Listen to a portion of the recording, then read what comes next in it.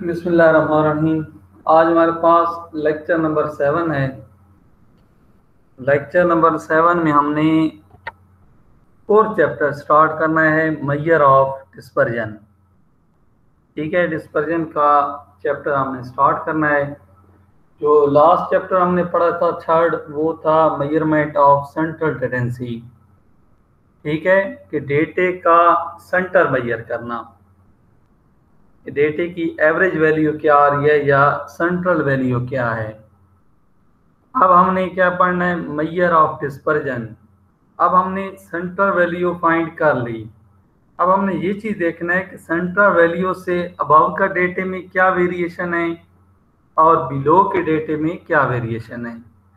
मतलब वो आपस में कितनी सेपरेटेड है, उनमें कितनी वेरिएशन है। ठीक है? सेंट्रल वैल्यू के थ्रू हम ये चीज़ देखेंगे कि हमारे डेटा में वेरिएशन कितनी है। ये चीज़ हमने डिस्पर्जन के चैप्टर में पढ़नी है। सबसे पहले मैंने डिस्पर्जन को थोड़ा सा डिस्कस किया है। डिस्पर्जन क्या होता है?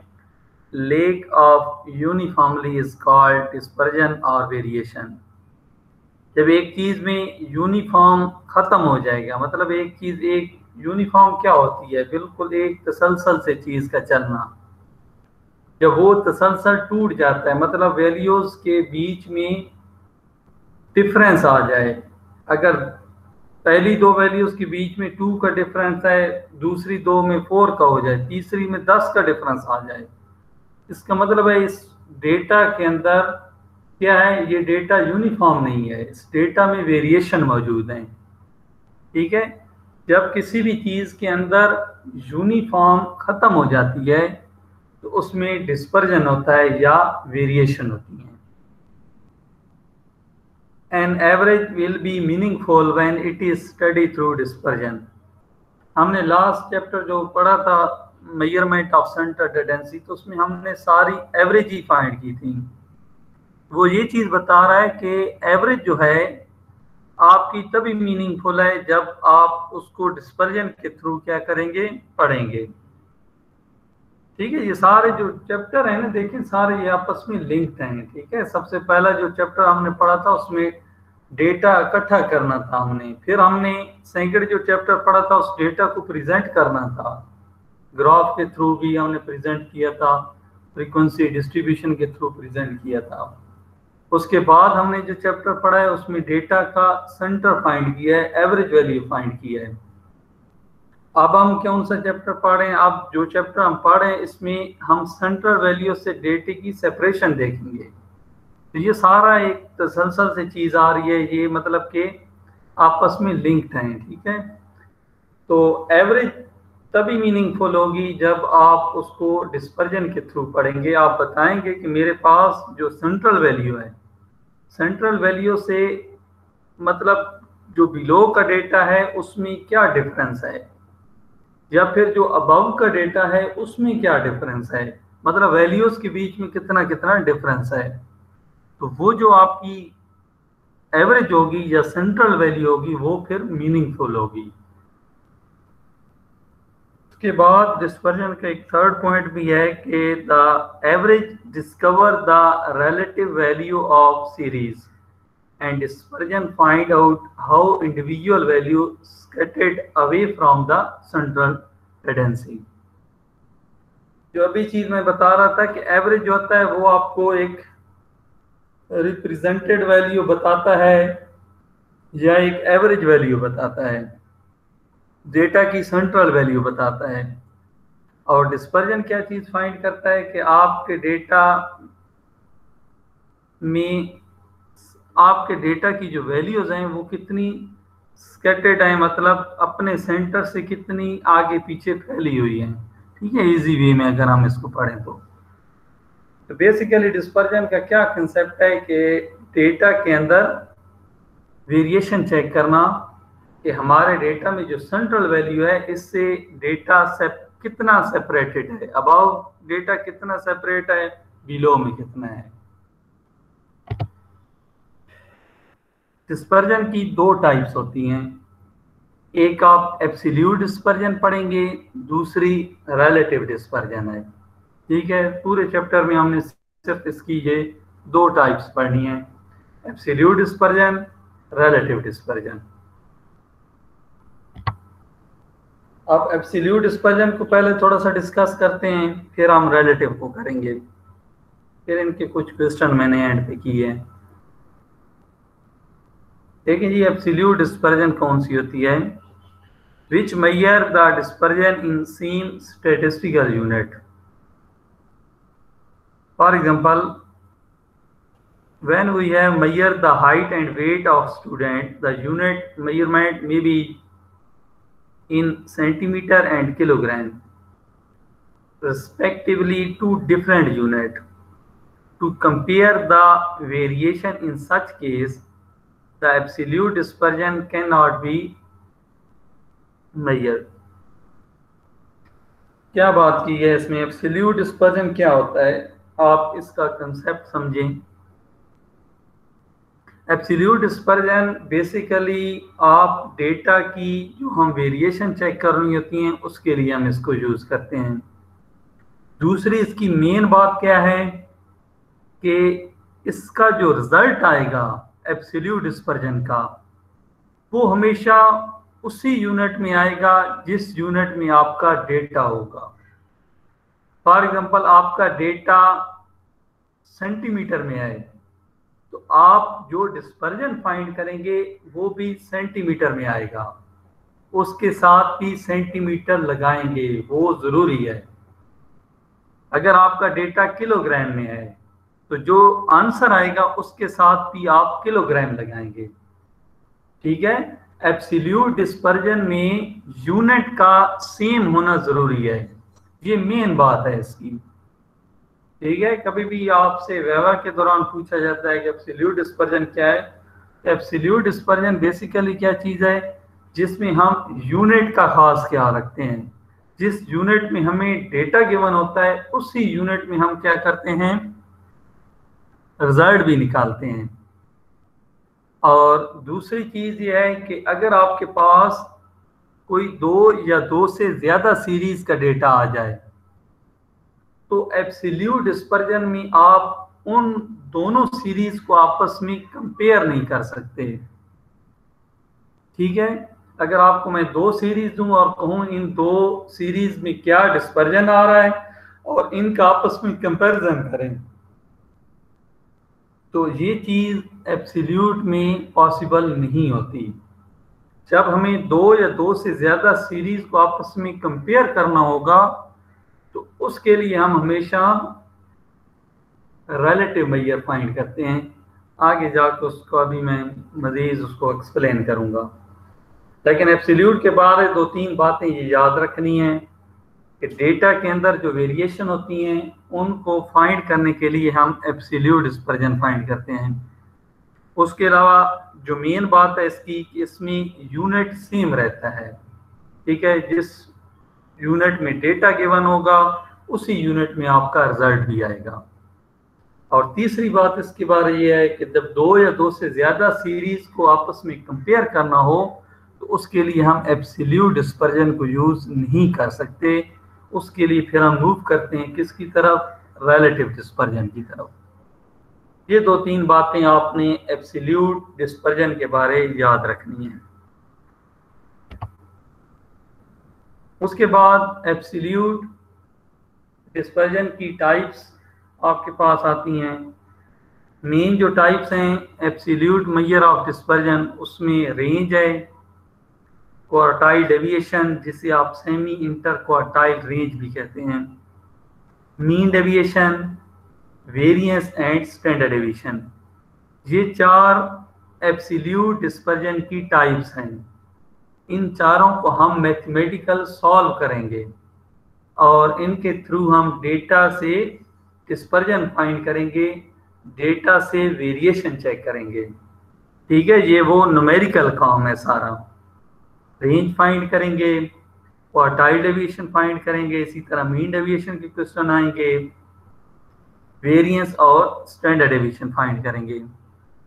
याद रखिएगा, सबसे पहले रेंज आया था, आपने डेटा की, डेटा में से अगर वेरिएशन चेक करनी होती थी तो हम रेंज फाइंड करते थे। ठीक है, रेंज के बाद जो चीज़ आई है, वो क्वार्टाइल डेविएशन आई है। ये भी आपको क्या चीज़ देंगी? ये भी आपको डिस्पर्जन देंगी वेरिएशन बताएँगे।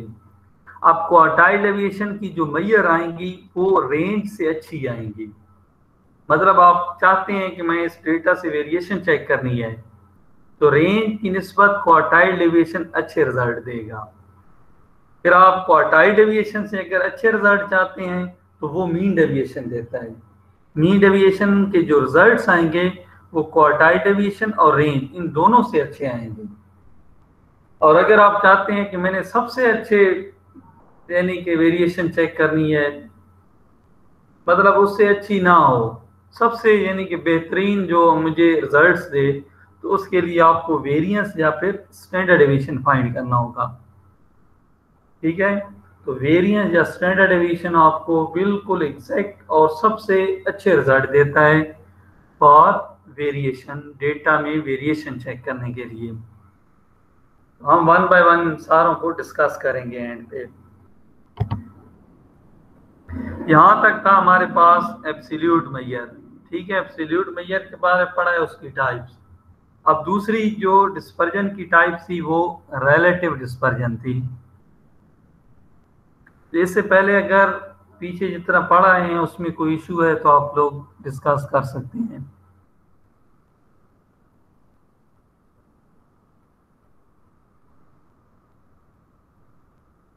कोई भी बंदा डिस्कस कर सकता है, कोई इशू है पीछे आप पूछ सकते हैं।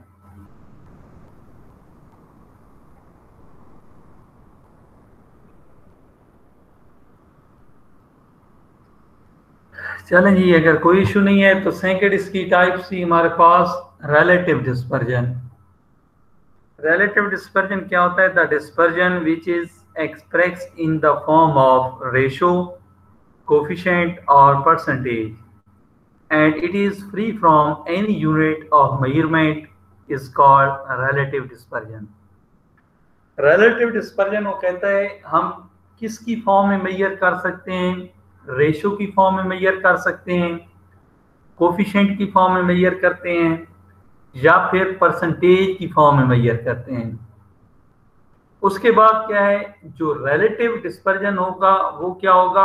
फ्री फ्रॉम एनी यूनिट ये किसी यूनिट से फ्री होगा। मतलब कि इसके साथ साथ यूनिट लगाने की ज़रूरत नहीं है। ठीक है? अगर आपके पास किसी भी चीज़ का डेटा है किलोग्राम में है तो आंसर आप किसी और उसमें भी निकाल सकते हैं, या फिर आंसर के साथ मतलब आप किलोग्राम नहीं भी लगाते तो कोई इशू नहीं है। ठीक है? या फिर इसका कंसेप्ट आप ऐसे ले सकते हैं कि ये यूनिट फ्री क्यों होता है? क्योंकि इसमें हम क्या करते हैं? बेसिकली दो या दो से ज़्यादा सीरीज़ को कंपेयर कर रहे होते हैं आपस में। ठीक है? सीरीज़ का कंपैरिजन होता है। तो अब एक सीरीज़ आपके पास मतलब ऐसा डेटा है जो सेंटीमीटर में है। तो उसके जो रिज़ल्ट आएँगे वो सेंटीमीटर में होंगे। और एक डेटा है आपके पास किलोग्राम का, उसके रिज़ल्ट किलोग्राम में आए तो आप उन दोनों रिज़ल्ट को जब आप कंपेयर करेंगे तो उनके साथ यूनिट नहीं लगाएँगे। ठीक है? अगर आप यूनिट लगाते हैं तो फिर उनको आप कंपेयर नहीं कर सकते। क्योंकि दो डिफरेंट यूनिट की चीज़ें हो जाएँगी। तो इसीलिए जो रिलेटिव डिस्पर्जन होता है, ये फ्री फ्रॉम यूनिट होता है। इसमें हम आंसर के साथ यूनिट नहीं लगाते। ठीक है? और ये जो हम फाइंड करते हैं, ये रेशो कोफिशेंट या परसेंटेज की फॉर्म में फाइंड होता है। आगे इसकी भी टाइप्स हैं। Types of relative measure of dispersion इसमें आप लोग क्या क्या चीज़ें फाइंड करेंगे?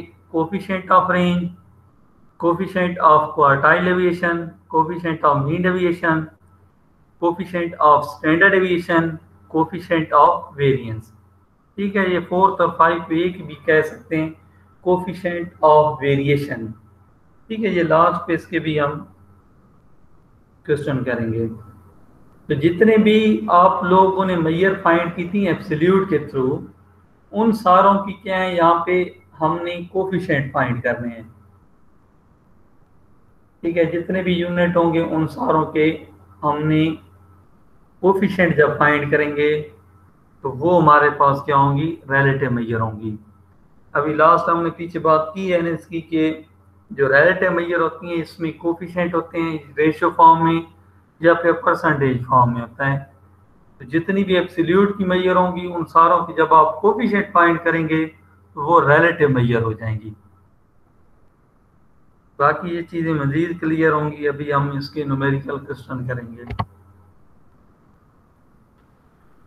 न्यूमेरिकल क्वेश्चन स्टार्ट करने से पहले, सबसे पहले हमने जो फ़र्स्ट हमारी है रेंज ठीक है? तो रेंज के बारे में हमने पढ़ना है कि रेंज क्या होती है, ठीक है?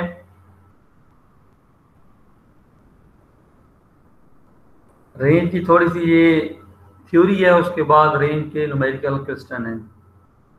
रेंज क्या होता है? It is define as the difference between largest value and smallest value in the data बिल्कुल सिंपल सी मैयर है ये हमारे पास, जिसमें हम क्या करते हैं?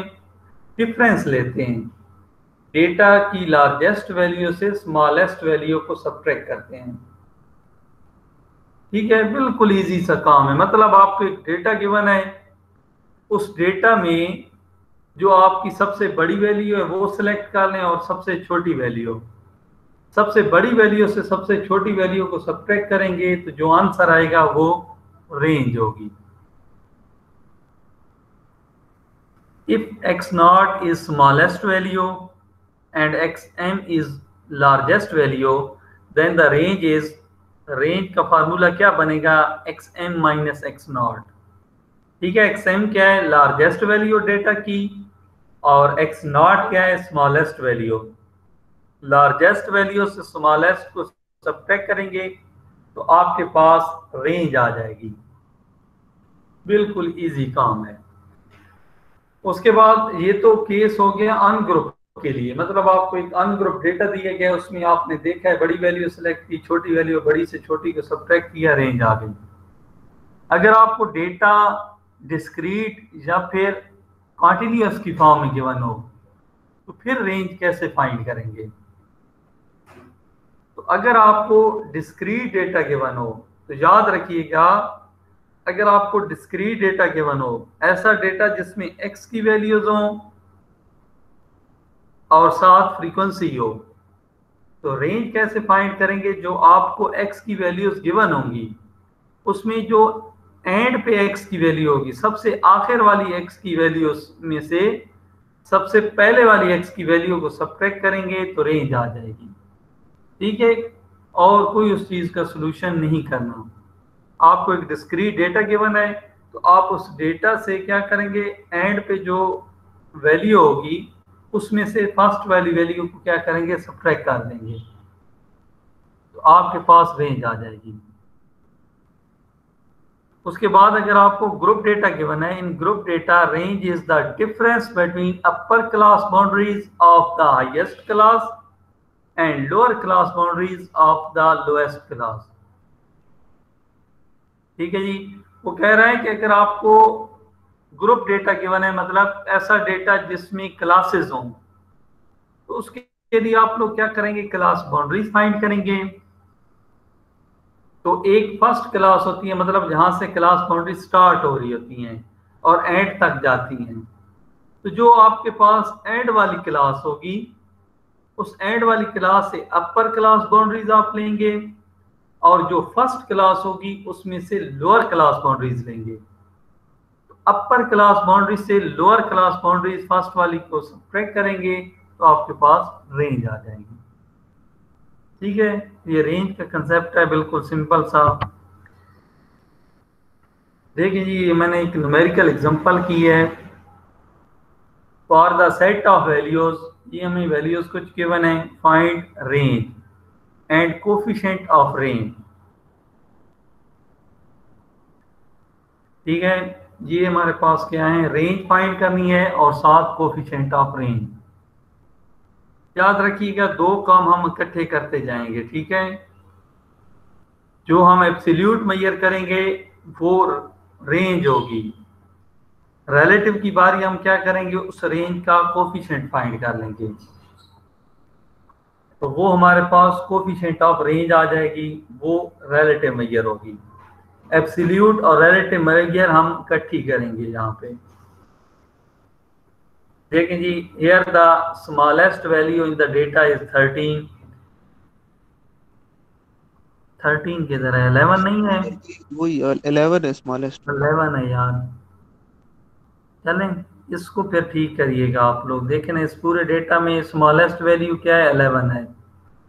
ये मिस्टेक है यहाँ पे थर्टीन नहीं आएगा यहाँ पे अलेवन आएगा। लार्जेस्ट वैल्यू इस डेटा में क्या है? वो ट्वेंटी फाइव है। ठीक है? तो रेंज कैसे फाइंड करेंगे? X M minus X naught largest value से स्मॉलेस्ट को सब्ट्रैक्ट कर देंगे।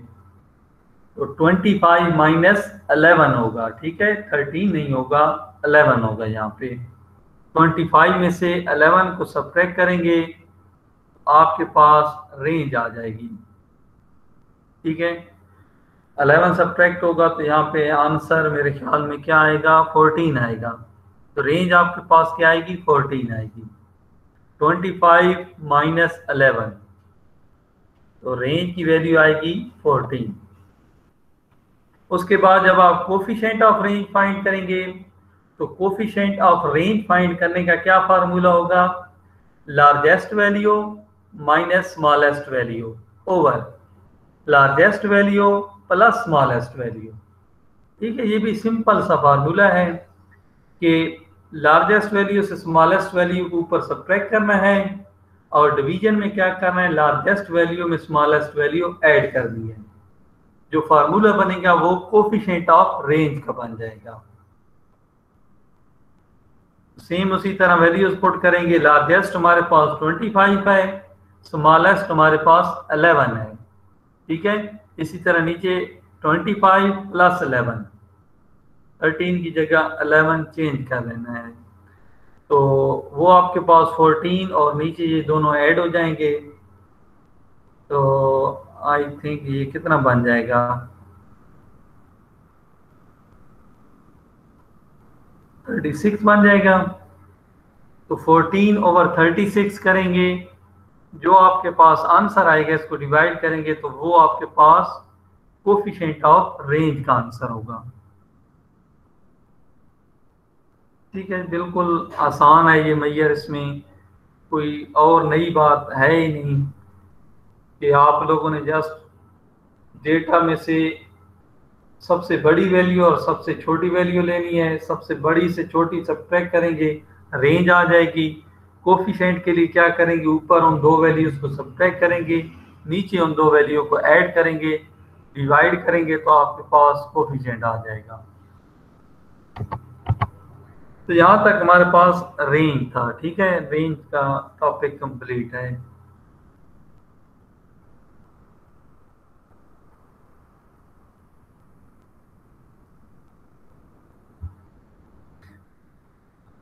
उसके बाद हमने सेकेंड टॉपिक करना है क्वार्टाइल डेविएशन का। ठीक है?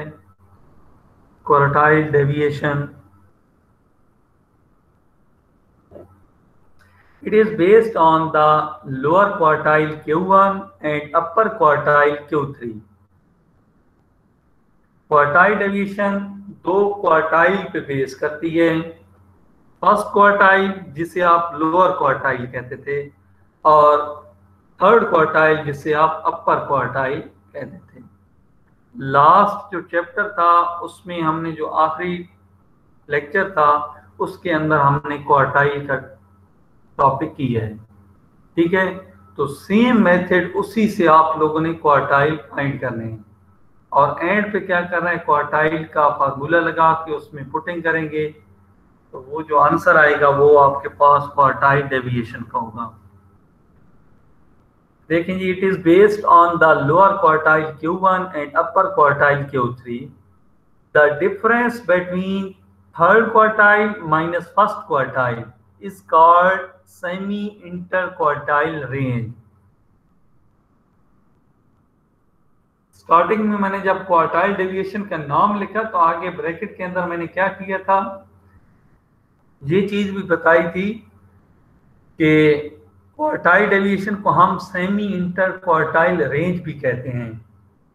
तो सेमी इंटर क्वार्टाइल रेंज कब कहेंगे? जब आप थर्ड क्वार्टाइल में से फ़र्स्ट क्वार्टाइल को सब्ट्रैक्ट करेंगे। जो आपके पास आंसर आएगा वो सेमी इंटर क्वार्टाइल रेंज होगी। The quartile deviation is defined as a half of the difference between third and first quartile. ठीक है, अगर आप डेफिनेशन बताएँ तो क्या कहेंगे? जी, हमारे पास क्या होता है? डिफरेंस होता है। हाफ़ डिफरेंस होता है किसका? थर्ड क्वार्टाइल और फ़र्स्ट क्वार्टाइल का। It is denoted by Q dot D quartile deviation ठीक है Q dot D is meaning है। क्या फार्मूला है क्वार्टाइल डेविएशन का? Third quartile minus first quartile divide by two तो ये आपके पास क्वार्टाइल डेविएशन आ जाएँगी। ठीक है सिंपल वे में क्या है कि जब भी आपको क्वार्टाइल डेविएशन फाइंड करने को कहा जाएगा तो आप अपने डेटा से थर्ड क्वार्टाइल फाइंड करेंगे और फ़र्स्ट क्वार्टाइल फाइंड करेंगे। सेम उसी मेथड पे जिस तरह आपने लास्ट लेक्चर में फाइंड किया था। उसके बाद क्या करेंगे? थर्ड क्वार्टाइल से फ़र्स्ट क्वार्टाइल में जब आप सब्ट्रैक्ट करेंगे, जो आंसर आएगा उससे आप सेमी इंटर क्वार्टाइल रेंज कहेंगे। और जब आप उस सेमी इंटर क्वार्टाइल रेंज वाले आंसर को टू पे डिवाइड भी कर देंगे तो वो आपके पास क्वार्टाइल डेविएशन बन जाएगा। ठीक है? जब आप डिवाइड करेंगे देन वो क्या चीज़ बन जाएगी? क्वार्टाइल डेविएशन बन जाएगी।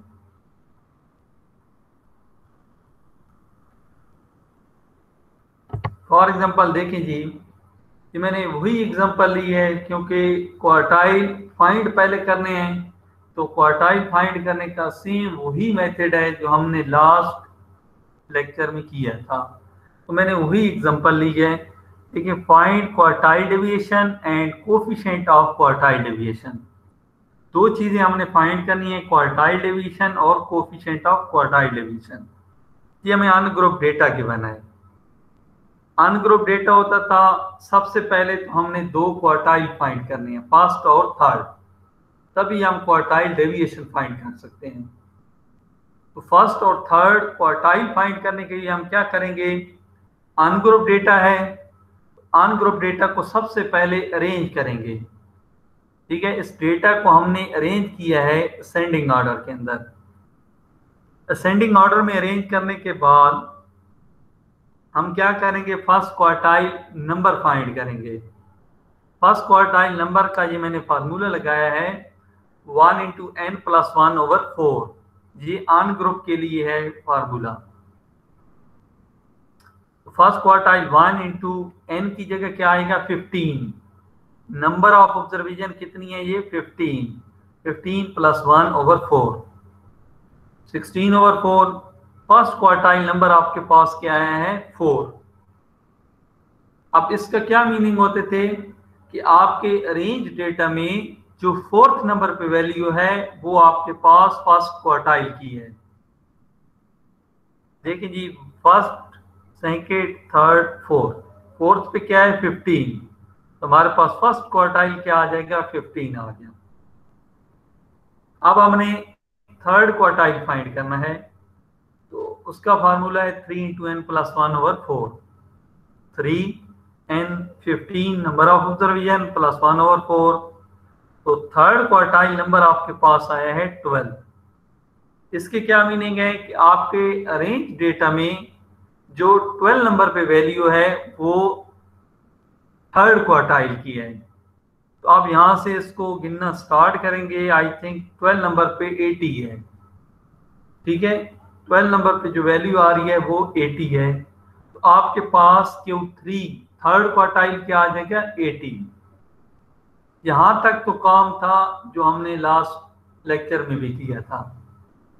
पहली जब हमने दो क्वार्टाइल फाइंड कर रही है फ़र्स्ट और थर्ड अब हम क्वार्टाइल डेविएशन फाइंड करेंगे। तो क्वार्टाइल डेविएशन फाइंड करने के लिए क्या करेंगे? Third quartile minus first quartile divide by two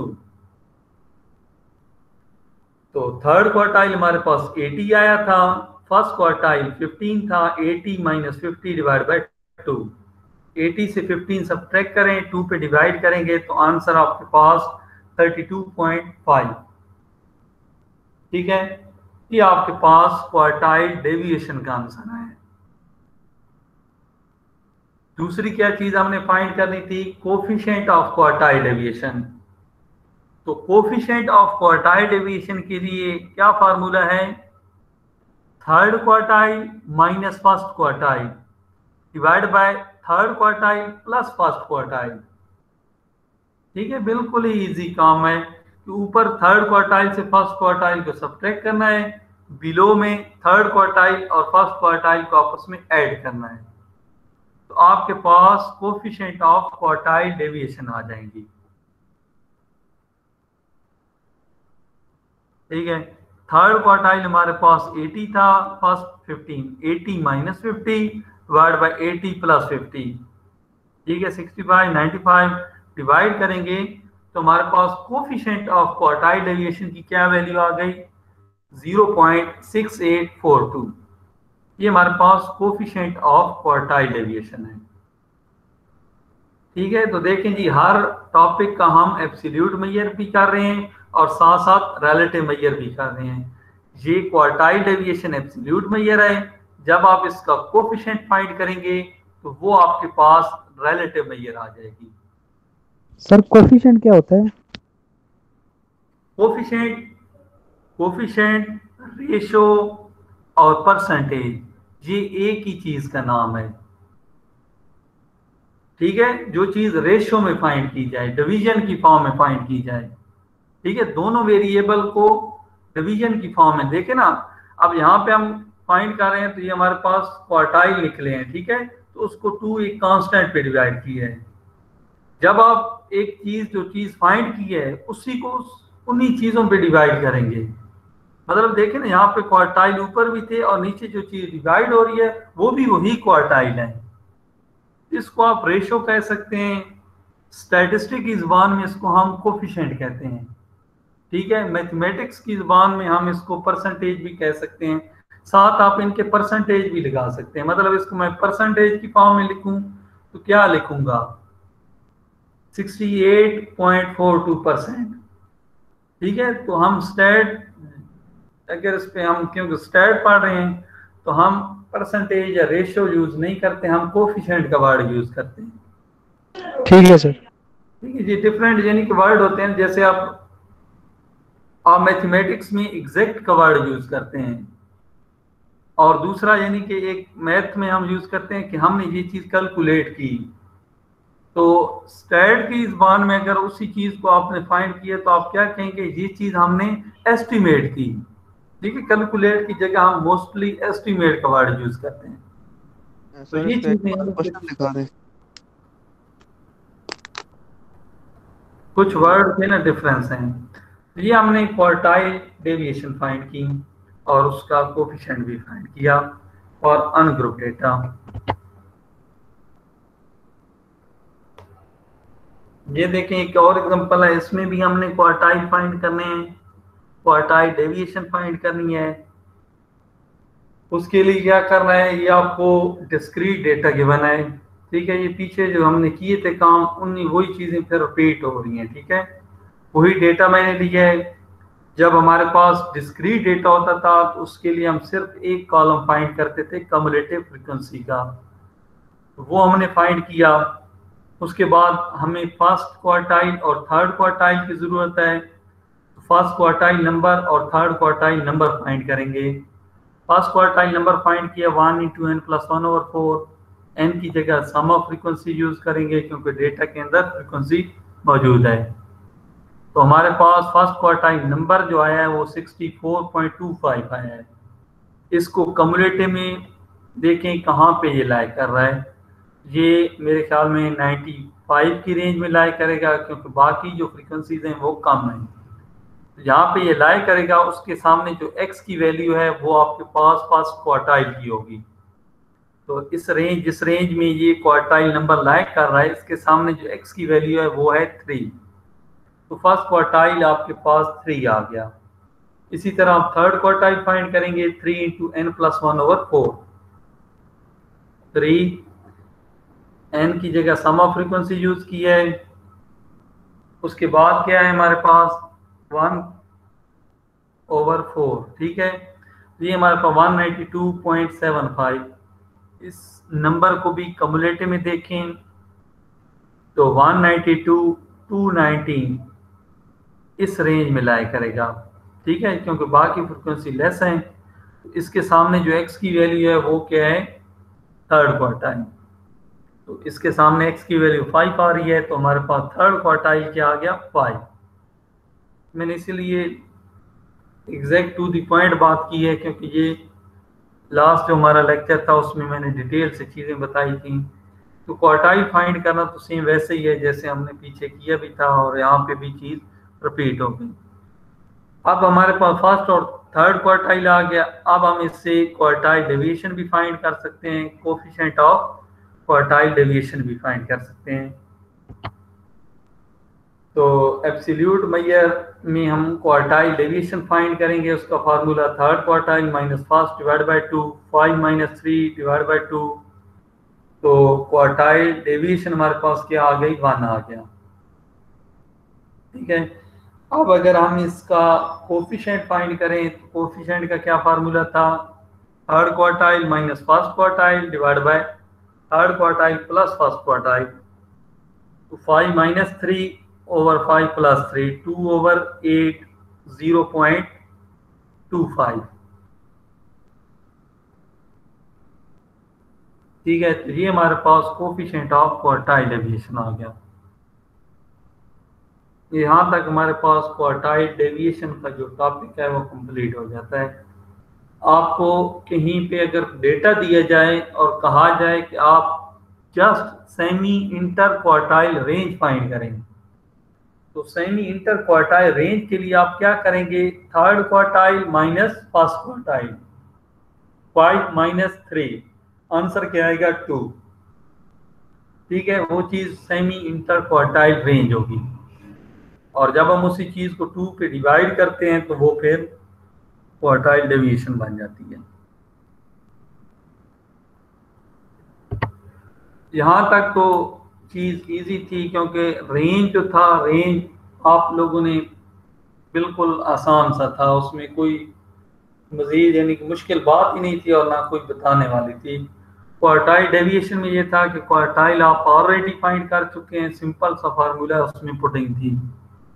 अभी जो हम टॉपिक स्टार्ट करने लगे हैं, ये टॉपिक समझना है ये नया टॉपिक है। मतलब इसके बारे आपको पहले इलम नहीं है जो अभी हम स्टार्ट कर रहे हैं। तो इस चीज़ को समझना है। बाकी पीछे अगर कोई इशू है तो वो आप डिस्कस कर सकते हैं।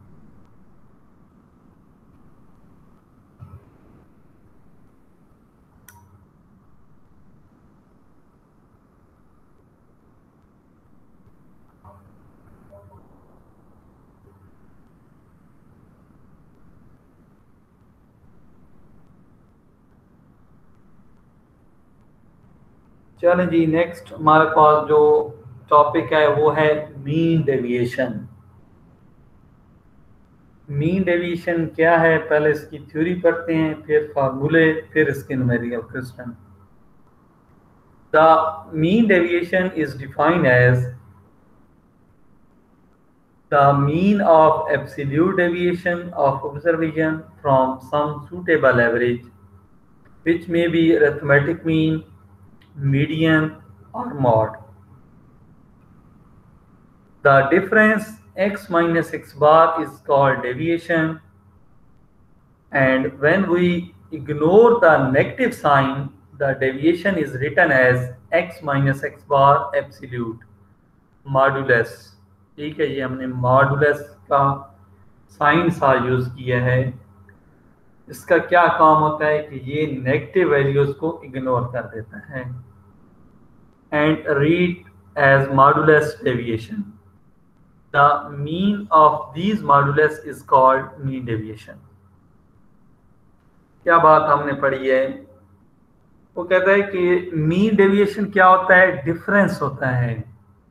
जब आप x की वैल्यू से अरेथमेटिक मीन या फिर मीडियन या फिर मॉड इन तीनों में से किसी भी एक की वैल्यू सब्ट्रैक्ट करते हैं। एक्स में से एक्स क्या है? आपके पास जो ओरिजिनल डेटा है, उस ओरिजिनल डेटा से अरेथमेटिक मीन की वैल्यू सब्ट्रैक्ट करना, या फिर मीडियन की वैल्यू सब्ट्रैक्ट करना, या फिर मॉड की वैल्यू सब्ट्रैक्ट करना। इन तीनों में से आप कोई भी चीज़ जब आप सब्ट्रैक्ट करेंगे तो जो आपके पास एक कॉलम जनरेट होगा, वो डेविएशन का कॉलम होगा। ओरिजिनल डेटा से अरेथमेटिक सब्ट्रैक्ट कर देना मीडियन सब्ट्रैक्ट कर देना, या फिर मॉड सब्ट्रैक्ट कर देना। तो जो हमें नया डेटा मिलेगा, उस डेटा को आप डेविएशन का डेटा कहेंगे। उस डेटा में क्या होगा कि कोई रिज़ल्ट पॉजिटिव होंगे, कोई नेगेटिव होंगे। ठीक है? जब हम x में से x बार को सब्ट्रैक्ट करेंगे तो कुछ वैल्यूज़ के रिज़ल्ट पॉजिटिव आएँगे, कुछ के नेगेटिव आएँगे। ठीक है? उसके बाद हम क्या करेंगे? मीन डेविएशन की तरफ़ जब हम मूव करेंगे तो वो जो डेविएशन आएँगी, जिसमें कुछ वैल्यूज़ पॉजिटिव होंगी, कुछ नेगेटिव हम उन पे मॉडुलस को अप्लाई करेंगे। मॉडुलस का क्या काम होगा? कि नेगेटिव वाली सारी वैल्यूज़ को पॉजिटिव कर देगा। ठीक है? नेगेटिव वाली जितनी भी वैल्यूज़ होंगी, वो सारी पॉजिटिव हो जाएँगी। उसको हम क्या कहेंगे? मॉडुलस ऑफ़ द डेविएशन क्योंकि डेविएशन का हमने क्या ले लिया मॉड ले लिया अगर वो आप मीन के थ्रू करेंगे तो mean deviation through arithmetic mean कह सकते हैं उसको, या मीन कह सकते हैं। अगर आप मीन डेविएशन लिए थ्रू मीडियन तो वो जो मीन डेविएशन आएगा, वो थ्रू क्या होगा? मीडियन होगा। अगर आपने डेविएशन ली है थ्रू मॉड के थ्रू तो वो जो रिज़ल्ट आएगा, वो मीन डेविएशन अबाउट क्या होगा? मॉड होगा। ठीक है, ये जो मॉडुलस का साइन है, इसकी अपनी जो वैल्यू होती है, वो प्लस माइनस होती है। जो हर वैल्यू के साथ जब हम उसको मल्टीप्लाई करते हैं तो जो पॉजिटिव साइन होंगे, वो पॉजिटिव रहेंगे। जो नेगेटिव साइन होंगे, वो पॉजिटिव हो जाएँगे। तो नेगेटिव वैल्यूज़ को इसका काम होता है पॉजिटिव कर देना। बाकी अभी हम इसके न्यूमेरिकल क्वेश्चन करते हैं, देखेंगे फिर। देखिए जी when mean deviation is calculate about arithmetic mean जब आप मीन डेविएशन फाइंड करेंगे अरिथमेटिक मीन के थ्रू तो उसके क्या फार्मूले बनेंगे? देखिए जी मीन डेविएशन क्या फार्मूला बनेगा? X minus x bar x में से क्या किया है? X बार अरिथमेटिक मीन की वैल्यू को सब्ट्रैक्ट किया है। तो ये जो फिर फार्मूला बनेगा, ये मीन डेविएशन का फार्मूला है और अबाउट क्या होगा? अरेथमेटिक मीन तो ये जो मॉडुलस के बाद जो तो कॉलम आएगा, उसका सम लेंगे और एन पे डिवाइड कर देंगे। तो हमारे पास क्या चीज़ आ जाएगा? ये मीन डेविएशन का फार्मूला बन जाएगा फॉर अनग्रुप डेटा और अगर आपके पास ग्रुप डेटा है, ऐसा डेटा जिसमें फ्रीक्वेंसी हो, वो डिस्क्रीट का भी हो सकता है कंटिन्यूस का भी। उसके लिए मीन डिवीज़न कैसे फाइंड करेंगे? Summation f x minus x bar mean division find करेंगे मॉडुलस लगाएँगे देन उस कॉलम को फ्रीक्वेंसी से मल्टीप्लाई करेंगे।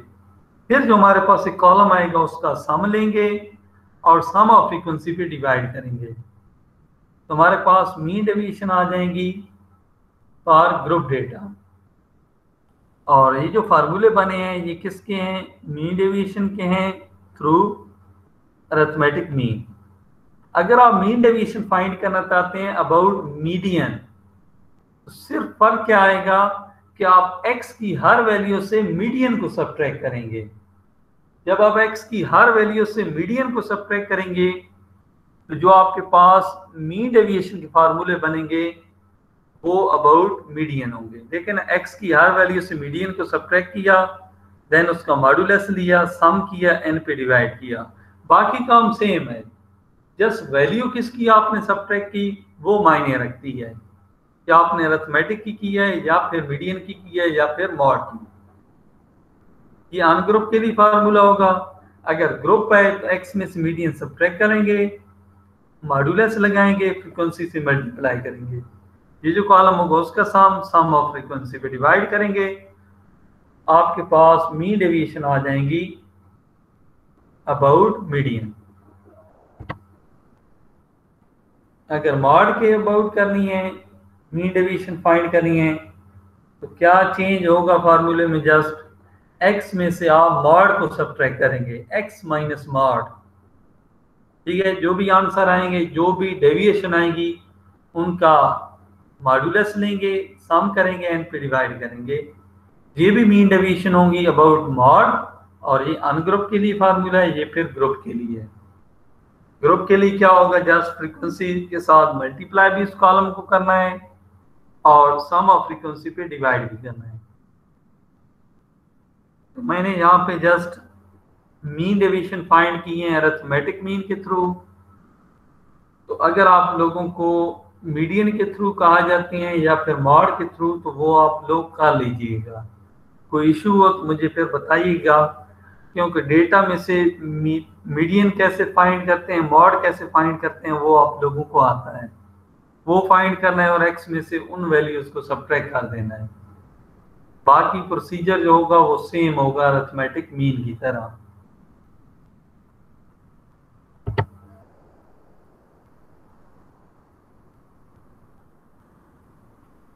उसके बाद कोफिशेंट ऑफ़ मीन डेविएशन है। तो कोफिशेंट ऑफ़ मीन डेविएशन आप कैसे फाइंड करेंगे? Coefficient of mean deviation about mean अगर आपने मीन डेविएशन फाइंड की है अबाउट मीन के थ्रू तो जो आपके पास मीन डेविएशन आएँगी, उन्हीं को आप मीन की वैल्यू पे डिवाइड करेंगे तो आपके पास कोफिशेंट आ जाएगा। ठीक है? आप लोगों ने एक मीन डेविएशन फाइंड की है आंसर कोई भी आपके पास आ गया है। और वो आपने मीन डेविएशन फाइंड की थी अबाउट मीन के थ्रू अरेथमेटिक मीन के थ्रू जो आंसर आएगा उसको आप अरेथमेटिक मीन की वैल्यू पे डिवाइड करेंगे तो वो उसका कोफिशिएंट बन जाएगा। अगर आपने मीन डेविएशन फाइंड की है मीडियन के थ्रू तो आप उस मीन डेविएशन वाली वैल्यू को मीडियन की वैल्यू पे डिवाइड करेंगे तो आप लोगों के पास कोफिशिएंट आ जाएगा। और एंड पे क्या है? थर्ड नंबर पे कि मीन डेविएशन अगर आप लोगों ने फाइंड किए हैं मॉड के थ्रू तो वो जो मीन डेविएशन की वैल्यू आएगी एंड पे, उसको आप मॉड पे डिवाइड करेंगे तो उस मीन डेविएशन के क्या आ जाएगा? कोफिशेंट आ जाएगा। देखिए जी, एक मैंने एग्जांपल की है इसमें आप लोगों की। कोई भी चीज़ अगर आगे पीछे है थ्योरी में यहाँ पे क्लियर हो जाएगी।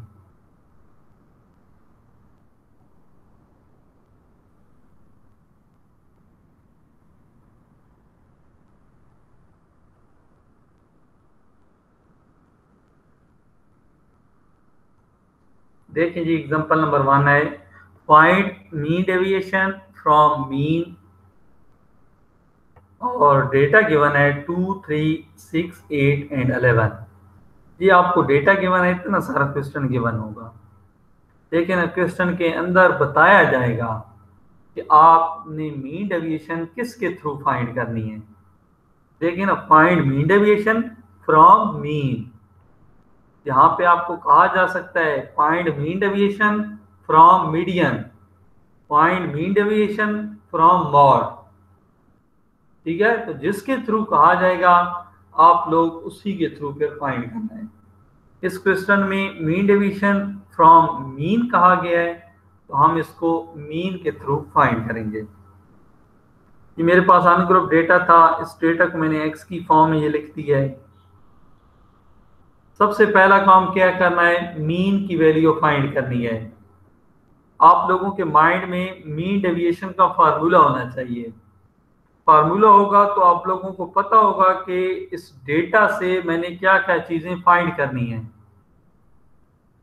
ठीक है, अब हमारे माइंड में है कि अनग्रुप डेटा है मीन डेविएशन का क्या फार्मूला यूज़ होगा? Summation x minus x bar mod divide by n तो आप एक्स की वैल्यू से मीन को सब्ट्रैक्ट करना है। तो सबसे पहले तो आपके पास मीन का होना ज़रूरी है। आप मीन कैसे फाइंड करेंगे? ये मैंने डेटा एक्स की फॉर्म में लिख दिया। इन सारी वैल्यूज़ को सम किए मेरे पास थर्टी आया है। तो मैंने अरेथमेटिक मीन का फार्मूला लगाया है। X bar is equal to summation X over N arithmetic mean find करना है।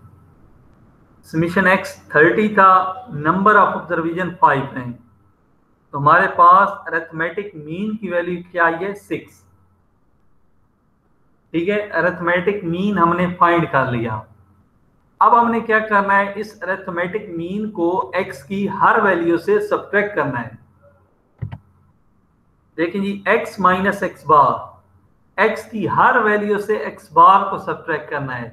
x बार क्या है? सिक्स तो x minus six two minus six minus four three minus six minus three six minus six zero eight minus six two eleven minus six five ये आपने x minus x बार कर लिया।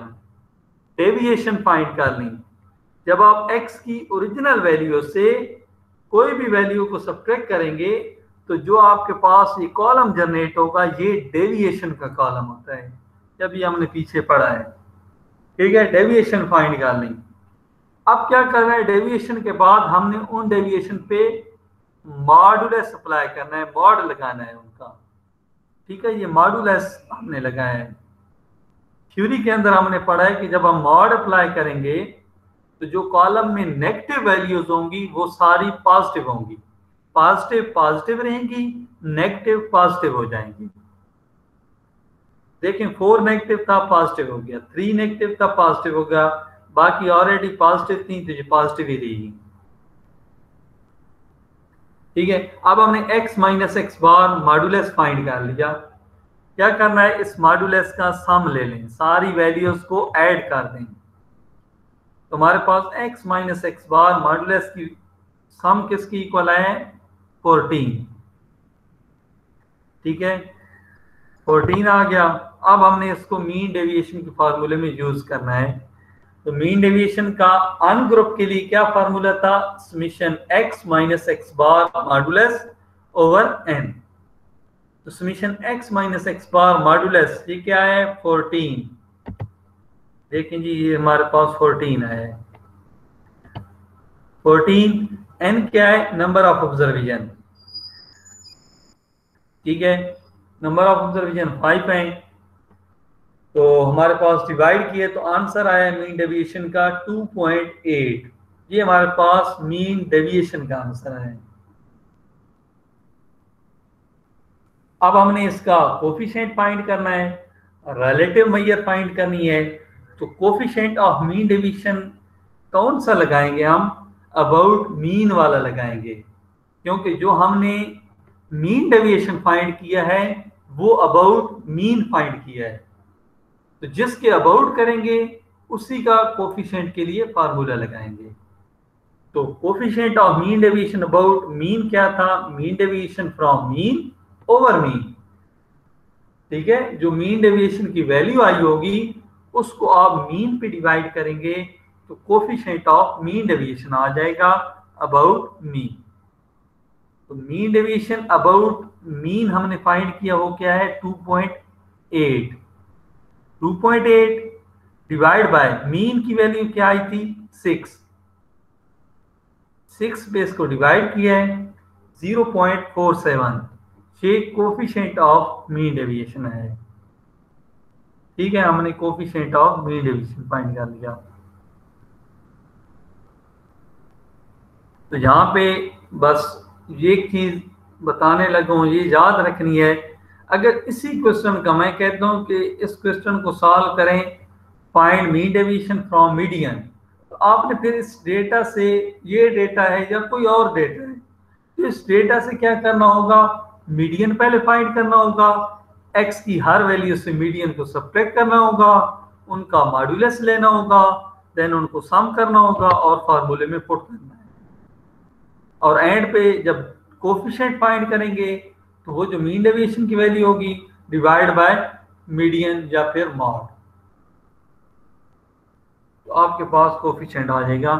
ये हमारे पास मीन डेविएशन था और ये क्वेश्चन था अनग्रुप डेटे का, जिस डेटा में हमारे पास फ्रिक्वेंसीज नहीं थी।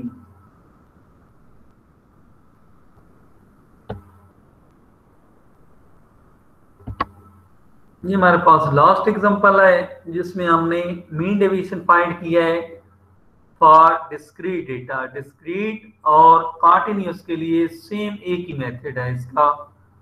तो मैंने इन दोनों में से सिर्फ़ एक एग्जांपल की है डिस्क्रीट की। देखें जी डिस्क्रीट और अनग्रुप में क्या फ़र्क है? वहाँ पे सिर्फ़ एक्स की वैल्यूज़ थी, यहाँ पे फ्रीक्वेंसी भी है। साथ देखिए find mean deviation by discrete data x की वैल्यू सात फ्रीक्वेंसी है। तो हमने ये एक्स की वैल्यूज़ लिखी हैं, सात फ्रीक्वेंसीज अब मीन डेविएशन फाइंड करना है। तो सबसे पहला काम क्या होगा? सबसे पहला काम हमने मीन फाइंड करना है। अरेथमेटिक मीन अब अरेथमेटिक मीन फाइंड करने के लिए उसका पहले फार्मूला सोचें कौन सा लगेगा, क्योंकि हमें डिस्क्रीट डेटा गिवन है। जब डिस्क्रीट डेटा गिवन होता है तो मीन का क्या फार्मूला होता है? Summation f x over summation f ठीक है? पहले एक और, एक कॉलम आप बनाएँगे, जिसमें फ्रीक्वेंसी और एक्स की वैल्यूज़ को मल्टीप्लाई करेंगे, उनका सम लेंगे और सम ऑफ़ फ्रीक्वेंसी पे डिवाइड करेंगे। तो आपके पास मीन आ जाएगा। जब मीन आएगा, तब आप मीन डेविएशन की तरफ़ मूव कर सकते हैं। तो ये हमें एक्स की वैल्यू फ्रीक्वेंसी गिवन थी। एक्स और फ्रीक्वेंसी को मल्टीप्लाई किया एफ़ एक्स बन गया। ठीक है, ये एफ़ एक्स का कॉलम है। हर एक्स की वैल्यू सामने वाली फ्रीक्वेंसी से मल्टीप्लाई हो रही है। मल्टीप्लाई किया है हमारे पास एफ़ एक्स का कॉलम है। इस एफ़ एक्स के कॉलम को हमने सम किया है। तो हमारे पास 1950 ये हमारे पास क्या है? एफ़ एक्स का सम सम ऑफ़ फ्रीक्वेंसी की है 50 है। इसको मीन के फार्मूले में पुट कर दें तो आपके पास अरेथमेटिक मीन आ जाएगा। देखें, ये हमने इस फार्मूले में पुट किया है। डिवाइड करने के बाद हमारे पास 39 अरेथमेटिक मीन की वैल्यू क्या आई है? 39 अब अरेथमेटिक मीन हमने फाइंड कर लिया। अब क्या करना है? एक्स की हर वैल्यू में से 39 जो मीन आया है, उसको सब्ट्रैक्ट करना है। तो यहाँ पे मैंने क्या किया है? जस्ट कि मैंने सब्ट्रैक्ट भी किया है और साथ उन वैल्यूज़ का मॉड भी ले लिया है। ठीक है? दो कॉलम मतलब पीछे हमने यहाँ पे देखे ना यहाँ पे हमने क्या किया? एक्स माइनस एक्स बार जो वैल्यूज़ आई थी, फिर मॉड लिया था। तो मैंने आप क्या किया? डायरेक्ट एक ही कॉलम बनाया, जिसमें सब्ट्रैक्ट भी किया, साथ मॉड भी ले लिया सबसे पहले क्या होगा? 22 माइनस थर्टी सब्ट्रैक्ट करेंगे तो माइनस सेवनटीन आएगा। माइनस सेवनटीन का मैंने क्या लिया है? मॉड लिया है तो इसका आंसर क्या हो गया? प्लस सेवनटीन सेम इसी तरह twenty seven minus thirty nine minus twelve minus twelve का जब हम मॉड्यूलस लेंगे तो वो प्लस ट्वेल्व हो जाएगा। Thirty two minus thirty nine minus seven minus seven का मॉड्यूलस लेंगे तो आपके पास सेवन आंसर आ जाएगा। सेम इसी तरह दूसरे किए और सात मॉड्यूलस लिया। है ठीक है, ये मैंने आप लोगों के समझाने के लिए लिया है। कोई भी एक वैल्यू यहाँ पे लिख सकते हैं। X minus x bar modulus ये समझाने के लिए किया है कि बेसिकली क्या कर रहे हैं? एक्स माइनस थर्टी नाइन कर रहे हैं। एक्स की हर वैल्यू से थर्टी नाइन जो हमारे पास मीन है उसको सब्ट्रैक्ट कर रहे हैं और साथ ही हम उसका मॉड्यूलस ले रहे हैं। सारी सर ये 39 कांस्टेंट है या नहीं। खुद से लिखा है? नहीं नहीं ये हमारे पास अरिथमेटिक मीन की वैल्यू है। देखें ना एक्स बार हमने फाइंड किया है summation f of x over summation f ये आंसर क्या है? 39 ठीक है? तो ये जो एक्स बार की वैल्यू होगी ये 39 है।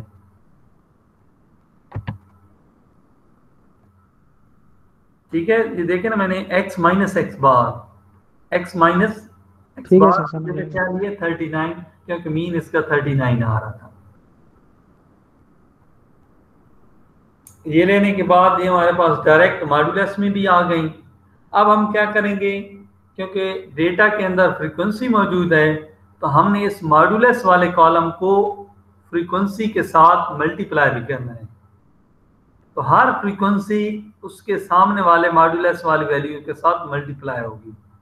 One multiply by seventeen four multiply by twelve eight multiply by seven तो आपके पास ये कॉलम जनरेट होगा f x minus x bar modulus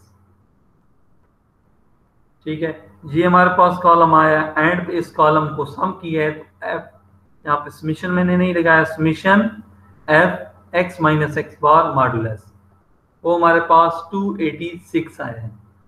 ठीक है सम किया है तो इसका आंसर क्या है? 286 अब हम क्या करेंगे? मीन डेविएशन का फार्मूला लगाएँगे फॉर ग्रुप डेटा क्योंकि ग्रुप डेटा है, इसमें फ्रीक्वेंसी थी। तो मीन डेविएशन का ग्रुप डेटा के लिए हमारे पास क्या फार्मूला था? Summation f x minus x bar modulus और सम ऑफ़ फ्रीक्वेंसी पे डिवाइड करेंगे।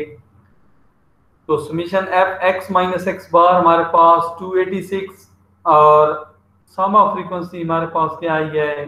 50 डिवाइड किया 5.72 जी हमारे पास मीन डेविएशन आ गया इस डिस्क्रीट डेटे का।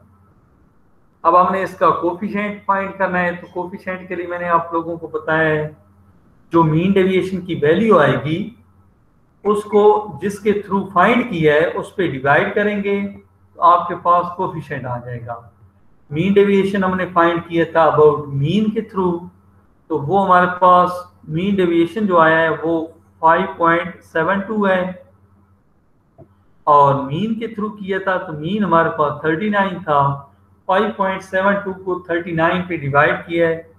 हमारे पास आंसर आया 0.15 ये हमारे पास कोफिशिएंट ऑफ़ मीन डेविएशन है। अबाउट मीन है क्योंकि हमने मीन की वैल्यू सब्ट्रैक्ट की थी। तो यहाँ हमारे पास मीन डेविएशन कंप्लीट हो जाता है। इसमें कोई इशू है मीन डेविएशन में या ओवरऑल पूरे लेक्चर में तो आप लोग डिस्कस कर सकते हैं। नो सर नहीं है।